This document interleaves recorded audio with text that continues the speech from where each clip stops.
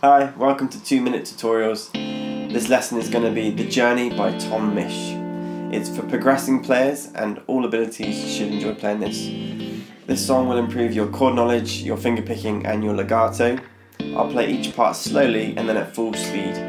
I do recommend using the spacebar to pause and go over what you've learnt, as well as the left key to go back and revisit the part that I've just done. If you enjoy the lesson, please do subscribe for more content like this. On my Patreon, I've got the tabs, the Guitar Pro, as well as a bonus lesson on how to improvise with this song, which I probably is my favourite lesson so far. Thanks so much for watching, I hope you enjoy it.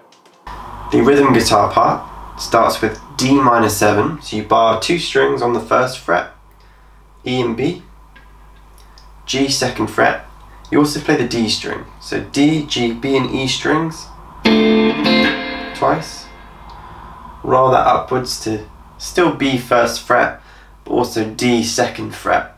We're going to play the middle strings, A to D to G to B.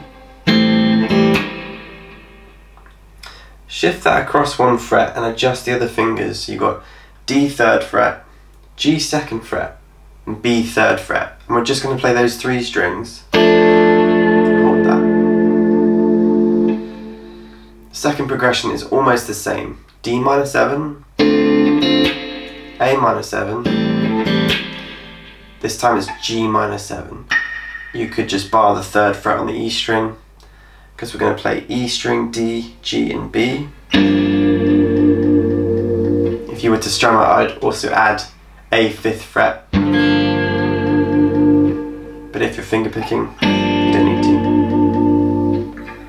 The lead guitar shifts position to G 10th fret, hammers on 12th fret. You're going to bar and play the B string as well, 10th fret. Four lots before changing to B 13th fret. And then almost the reverse, you're going to play B 10th fret, G 10th fret, hammers and pulls off the 12th fret.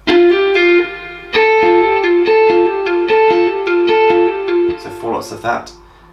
And again, still barring, so we're going to play the 10th fret on the thin E string. He uses a delay pedal to achieve that, but if you don't have a delay pedal, you'll just play every note.